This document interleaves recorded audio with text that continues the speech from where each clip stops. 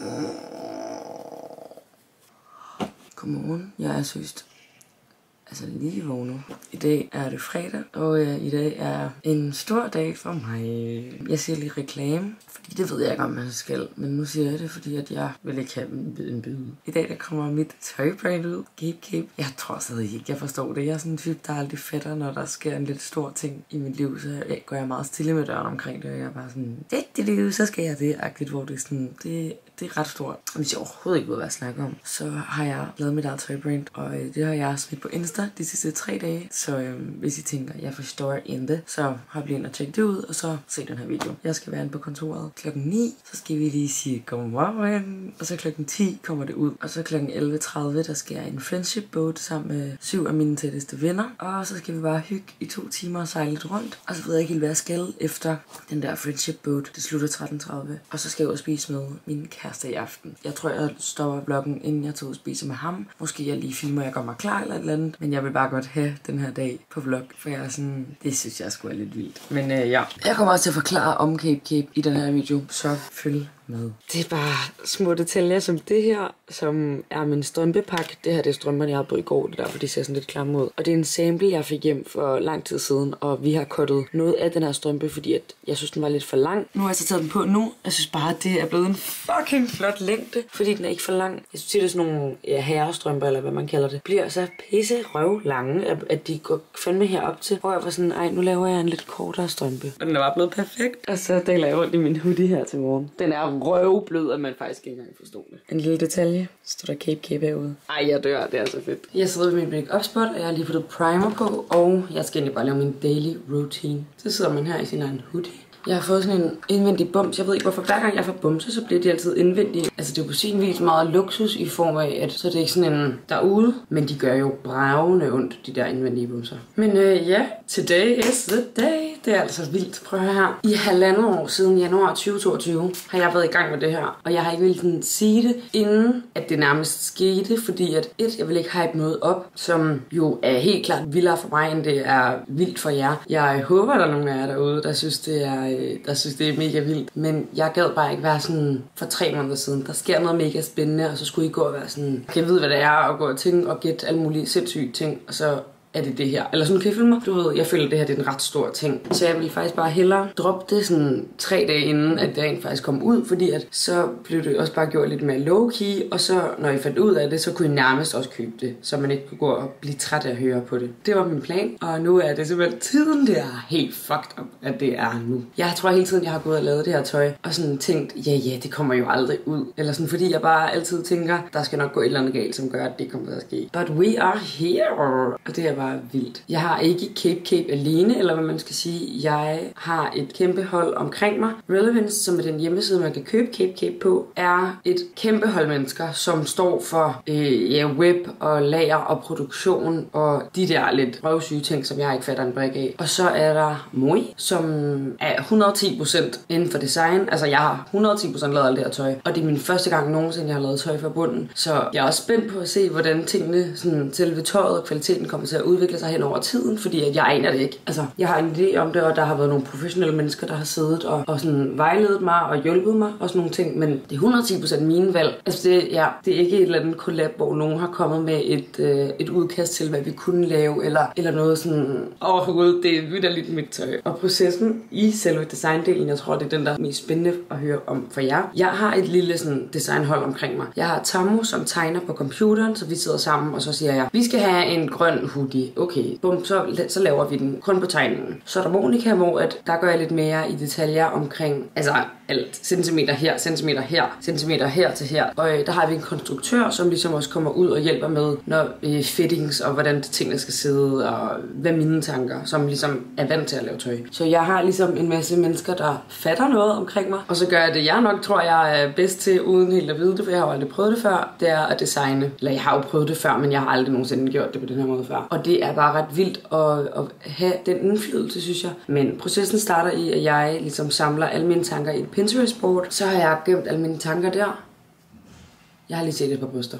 på den anden side af gaden, og jeg skal lade med at kigge, for jeg har tit selv bare øhm, ja, processen starter i, at jeg ligesom samler tons of inspiration i et Pinterest board. I kan jo faktisk low se det. Så laver jeg et udkast til de tre første drops. Jeg har allerede nu lavet drops ude i fremtiden, så okay, jeg kan ikke lige finde det. Men øh, så samler jeg alle mine tanker i, i sådan en powerpoint, eller hvad man skal sige, og så præsenterer jeg det så for de andre. Så har vi ligesom noget at gå ud fra. De første tre drops, der kommer her nu, de fire første faktisk, der gjorde jeg ikke præcis det her. Der blev det lidt mere loose. Det har været første gang for os alle. Der er ingen af os, der nogensinde har gjort det her før på den her måde. Så alt har seriøst været den sygeste læringsproces. Så når vi er kommet frem til nogle styles, og vi ligesom har fået tegnet dem og smidt centimeter på, og jeg ved ikke hvad, og så sender vi det til produktionen, så de ligesom kommer med nogle samples på det. Når der så går noget tid, og de her samples kommer hjem, så øh, ja, kan det jo seriøst ligne øh, lort og lavkage, men det kan også være sådan, okay, det her det er ret meget den retning, vi skal hen imod. Første sample ligner stort set aldrig færdig resultatet, altså sådan overhovedet. I hvert fald ikke det, det har gjort lige nu. Så kommer det hjem, fitter det til, jeg står og prøver det, konstruktøren måler op, skriver ned, også med farver og print og alt, der er ved et item. Så det bliver så sendt tilbage til produktionen, og så kommer det med nye samples, og så kører den samme cirkel bare igen indtil produktet sidder lige som det skal. Når det gør det, så øh, ja, bliver det jo sat i produktion, og så øh, producerer vi ikke særlig meget af hvert produkt faktisk. Jeg vil gerne holde det super småt, og især her i starten. Jeg øh, gider ikke masse producere et eller andet, øh, bare for at tjene penge. Jeg vil hellere lave det småt og godt. Og det er også derfor, at dropsene ikke indeholder 30 items. Jeg vil hellere gøre det stille og roligt også, så jeg ligesom kan få en føler for, om I synes, det er nice, men også bare for ikke at lave, lave tøj, bare for at lave tøj. Det skal ligesom også give mening og være fordi, okay, det her, det synes jeg mangler. Eller sådan, det her synes jeg, jeg har brug for. Eller det her, synes jeg er fedt. Og så var vi på shoot, hvilket bare var, jeg havde fandme 10 mental breakdowns på det shoot. Jeg har bare sådan overhovedet ikke lyst til at få taget billeder for tiden. Og mit arbejde er vidderligt at skyde kampagnebilleder. Og det øh, har jeg bare synes har været sådan ekstra nederen i den her lange periode, for jeg tror bare, jeg har været øh, max presset, for der er tusind ting, jeg også kunne tage højde for. Altså alt fra billeder, shoot, øh, hvordan jeg synes websiden skal se ud. Det er ikke mig, der har lavet websiden, men jeg har jo et say i, hvordan, hvilke billeder, der skal op på min side og sådan nogle ting. Fordi Cape Cape har ligesom sin egen side ind på den her Relevance hjemmeside. Og så øhm, må vi jo se, hvad der ellers sker inde på den hjemmeside. Det kan man jo lige holde øje med. Men øh, ja, så der ligger mit brand derinde. Det har intet med nogen andre at gøre. Der er ingen, der har sagt noget helst om, hvordan tøj skal være. Det er 130 milliarder procent mine items. Så hvis man sidder derude og tænker, ah, det er der nok nogen, der har lavet for dig eller andet. I promise you, jeg har lavet det selv. Det er sådan nogle fucking weird rettelser, man synes, skulle lave. Den er lynlås startede hernede til at starte med, og sådan hoodien sluttede stadig her. Så der var sådan en gap her fra lynlåsen til øh, de her strings, hvor der er sådan et fucking langt gap, hvor jeg var sådan, ej, det ser weird ud, rykker den til dig på. Det er sådan nogle rettelser, jeg bare var sådan, ej, det havde jeg ikke troet, man skulle lave, men selvfølgelig skal man det. Det er pisse spændende, og der kommer en million drops forhåbentlig nu. Jeg ved i hvert fald allerede, hvad der kommer til og med december. Så det er ret vildt at arbejde på den her måde, og så skulle forudse, hvad der bliver fedt, fordi det er jeg på ingen måde uddannet i eller har styr på. Så det er bare sådan maveføler ting og sådan research. Det har simpelthen været den sygeste læringsproces. Jeg havde aldrig troet, jeg skulle gøre det her i en alder af 21 år. Jeg er videre lidt 21 år, og jeg har mit eget tøjmærke. Oh my god. Så jeg håber virkelig, at I kan se, at jeg fandme har vil det her. Det vil jeg virkelig. Jeg håber bare, at det kommer til at gå godt. Og sådan, det er et tøjmærke, der forhåbentlig skal last forever. Det skal bare være nice at have på. Det skal sidde godt. Det er det. Er det. Der er tusind ting mere, jeg kunne så sige. Men jeg føler lige, det var det, der var sådan det spændende. Og I må se til, og I skal også bare være mega røvvelkommen til at skrive på Insta, hvis I har et spørgsmål om et eller andet. Jeg vil mega gerne svare på det. Og øhm, jeg håber simpelthen bare, at I, I vil tage godt imod det. Jeg har gjort mit allerbedste, og jeg vil altid gøre mit allerbedste. Så jeg håber, jeg håber fucking meget, at I kommer til at tage godt imod det, og I vil holde øje med, med hjemmesiden og se, hvad der dropper. Og jeg kommer også til at smide på min Instagram, og Cape Cape har sin egen Instagram. Ej, det bliver bare это bravende fedt. Og en anden ting, grund til, at det ligesom blev Cape Cape, var, at jeg skulle jo finde på et navn. Og jeg havde sådan noget med at finde på et navn og et logo. Altså, I don't know. Men med navnet, jeg sad og bare en hel dag og bare var sådan, okay, kiggede på bogstaver og fede bogstavskombinationer. Hvad passer et R godt sammen med? Og så faldt jeg over Cape og dens betegnelse på Urban Dictionary. Det her det er betegnelsen af Cape på Urban Dictionary. A totally awesome article of clothing. Almost anybody who wears a cape will look cool. And anybody who is badass can greatly benefit from wearing a cape. Og det er jo bare sådan sådan, at en kappe er noget superhelte har på, og noget man tager på, hvis man skal, du ved, sådan, kunne det ekstra, og ja, bare føle sig godt tilpas, og sådan meget sådan Hannah Montana-vibes, og så tager hun på ryggen på, og så kan hun ligesom hele verden. Du ved, det er meget det, tøjet skal symbolisere. Det skal give en fed følelse, og man bare skal føle sig fucking godt tilpas i det, for der er ting røv meget over fedt, og der er ting røv meget over den der detalje, som bare gør, at man vil lade det til frem for alt muligt andet, at sådan, det sidder godt, og det er blødt at have på, og det føles nice, og der er ikke en eller anden ting, der sådan irriterer og krasser og sådan noget. Det er det, jeg har lagt røvhammerne meget vægt på. Så derfor, der var jeg bare sådan, Cape passer bare brown røv godt ind til det her brand. Det blev sgu, øh, det blev sgu til Cape Cape. Og jeg er så glad for det her navn. Med alle de andre navne, jeg sådan sad og tænkte på, der kom op, og var jeg bare sådan, nej, det er ikke det, det skal være. Jeg håber, at jeg fik sådan besvaret mange af de spørgsmål, man eventuelt måtte sidde med. Tøjet er jo kommet ud, når I ser det her, så I skal bare være mega velkommen til at tjekke det ud. Det vil jeg bare blive fucking glad for. Hvad er klokken? Jeg skal lige holde øje med, at jeg ikke snakker for, for meget. Det gør jeg. Jeg burde være færdig med min makeup for et kvarter siden. Det er Cape Cape. Jeg håber, at I vil tage godt imod det. Det er så spændende. Jeg forstår det ikke. Nu vil jeg færdiggøre min makeup. Ej, jeg har ramt bunden på den her nu. Og så vil jeg ud og lave noget morgenmad. Nu vil jeg lige gøre mig færdig. Castelloost og spejdreng, kalder jeg det bare nu. Jeg er kommet lidt tidspres, fordi jeg snakkede så røv meget. Men øh, jeg vil se noget YouTube, og så vil jeg spise min morgenmad, så vil jeg gøre mig klar, og så skal vi ud af døren. Nå, jeg har fået taget tøj på, og jeg var jo sådan, jeg var nødt til at have noget på, som jeg har lavet. Det er jeg gået lidt ud fra. Jeg har taget den her sorte top på fra Sarah, bare fordi, at så kan jeg gøre det her, hvis jeg gerne vil have sol, og lige tage dem her ned. Så har jeg taget mine jeans på, som er bare sådan, altså det, den perfekte jeans ever. Men der står cape her på måsen, om på lommen. Altså jeg vil faktisk ikke engang sige, at det har været en baggy buks. Jeg vil bare kalde den sådan straight fitted. Altså fordi at den jo ikke er kæmpestor, men den bare sådan sidder vildt low-key. Altså den sidder fucking godt seriøst. Og så tror jeg, at jeg tager min hoodie på, fordi jeg overvejede at tage min, øh, jeg har lavet sådan en skaljakke, som er bravende. Men øh, jeg gad også godt have noget sådan blødt på, hvis det er, at man bare godt lige vil pakke sig ind, og man fryser lidt uforventet. Jeg er lidt i tvivl om den her top og de her øreringe sammen, for jeg synes, jeg ligner en 16-årig. Kan I følge mig? Jeg prøver lige med nogle andre øreringe, men jeg skal synes til at gå nu. Øhm, så jeg vil bare lige sige, hvad jeg har på, og jeg har også clarks på. Og så skal jeg have alt det her shit med på min freaking cykel. Alt det her. Vi er kommet ind til lovensrummet. Ej, det er meget seriøst, føler jeg. Ja, det er. Ej, hvor lækkert. Øh, Clara og jeg vi sad hjemme på anden sal i huset og skrev på papir. Lasse og, og Mads har gået med nogle idéer. Vi har snakket i 4-5 år om, at vi skulle lave noget sammen. Øh, så siger Mads, det er nu, vi skal lave noget sammen. Og så siger vi, det kan være, at det bliver verdens mest mærkelige møde, fordi det kan være, at vi skal være konkurrenter, eller også skal vi lave noget sammen. Det fandt vi heldigvis ud af, at vi skulle. Og selvom vi har gjort det ordentligt, så har de sidste tre uger været vilde, både med leveringer og øh, altså, jeg kan sige, at vi er alle varer på lager. Så det har været vildt, og der har været mange øh, vilde filmberedninger, og der har været øh, fotoshoot, som, øh, som kunne have været planlagt bedre, der er alle mulige ting. Og det fede er, at vi har lært rigtig, rigtig meget af den her proces, og vi kommer til at justere de ting hurtigt, for nu har vi alt det, det vilde grundlæggende. Så øh, jeg vil bare sige tusind tak, og jeg håber virkelig, at det her det er første dag i noget rigtig stort. Fordi vi er ikke bare lavet cola, vi er faktisk startet med at lave brand. Så skål alle sammen, og tusind Skål. tak. Skål. Om 20 minutter. Anna er også kommet.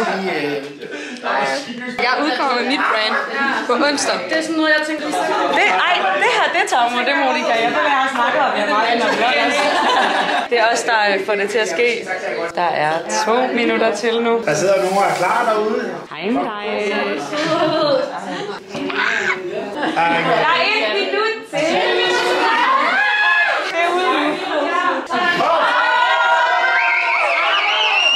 Hold op, hold op. Yes, der er første køb.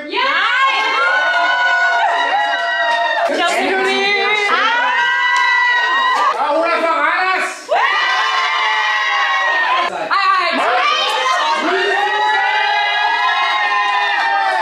Så er jeg gået fra de andre. Jeg skal hen og mødes med mine venner nu, og så skal vi sejle i Friendship Boat. Det var en helt fucked up følelse, da det blev sat til salg, fordi at jeg har jo tusind forventninger om, hvad der skal ske, og sådan, ja, jeg tror bare, at mine forventninger var tårnhøje, og det gik fucking godt. Altså folk var sådan der, hold derop. Men jeg tror bare, at jeg selv er sådan, det kunne have været bedre. Men jeg skal måske også bare lige sådan lower my expectations, og så være glad for det, der rent faktisk er sket. Ja, der er blevet købt ekstremt mange ting, og sådan, ja, jeg tror bare, jeg sammenligner det med alt, hvad jeg har lavet tidligere, men man skal tænke på, at det er et helt nyt brand, og ah, ja. Men nu vil jeg sådan lægge min telefon fra mig, og så bare hygge mig og vlogge, og bare, ja, slappe af. Men nu skal jeg lige cykle hen til Friendship Boats. Så er vi på den båd der. Jeg lader som om, jeg hjælper. Der, der er ikke deroppe. Jeg, han, han er bare nøjeren, ham der der. Han er så nu. Nej, nej, han er væk. Bak, bak, jeg tror godt, Jeg han bare, kan jeg tror bare, jeg er, ah, nej, det er så godt. Det er bedre nogle gange bare at holde stille, så ved man, at der ikke er noget galt. Ja. Vil du have en øl eller vin? Eller hvad for en Er vi okay med dig? Jeg sidder her og leger guide. Ej, sejle og nynne af Kaptajn. Ja, vi skal faktisk lave en uvending. Allerede nu, eller hvad? Skal jeg bare gøre det nu? Ja. Der er, altså, er mere luft, når vi lidt vært. Ja, men det er stadig varmt. Ja, ja. Det er Altså, jeg er virkelig tilfreds med, hvordan vejret er ud. Ja, ja. faktisk. Så er de sådan, at vi også har de næste år, så er det bare sådan, ja. ja. Men han, han, han, han lige rækker så ikke Der er ingen, der tager over her for nynne. Simpelthen. Sagde, at alle skulle det. Er det mig. Vi siger ikke noget om, at det var sådan, det var vi lige ud. Hvis der er nogen, der prøver, så er det nu. Kender du?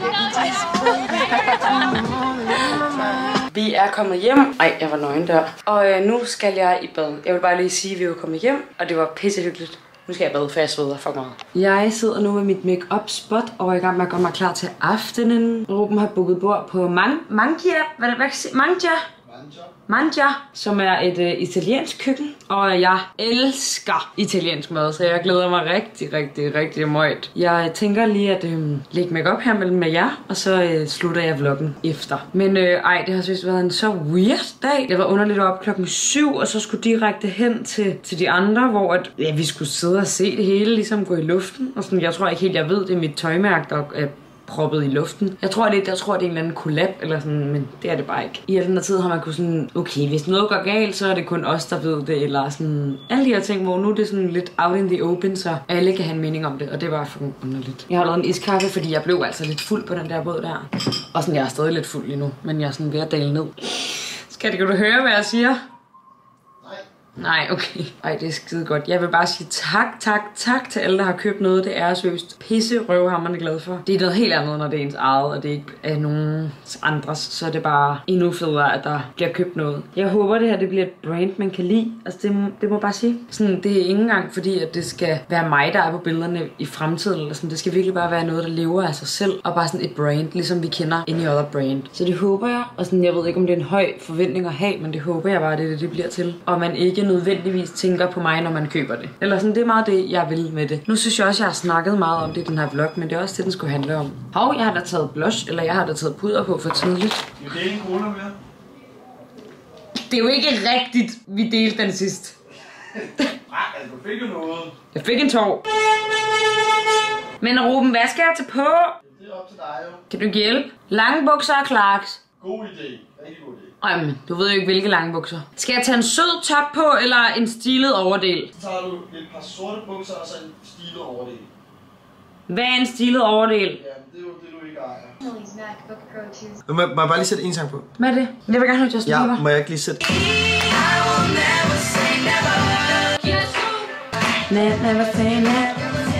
Jeg vender lige tilbage, når jeg er færdig med mit fjørs. Jeg har gjort mig klar, og jeg har selvfølgelig min lille baby tee på. Jeg har min baby tee på, og så har jeg min Pinatico suitpants på, og Clarks. Og så har jeg min Maria Black hood. Alle mine øreringe er faktisk fra Maria Black. Øh, Vi har begge to sådan lidt et over. meget gatekeep øh, buks her, den kan jeg ikke fortælle hvorfra. Men den Ah, du er en pick me girl. Og så selvfølgelig... Øh, Spækbrættet. Men øh, ja, jeg vil egentlig bare sige tusind tak, fordi at I har set med den her vlog. Jeg håber virkelig, virkelig, at I vil tjekke Cape Cape ud. Og så håber jeg bare, at I har det mega, mega godt. Tak fordi I så med den her vlog. Vi ses.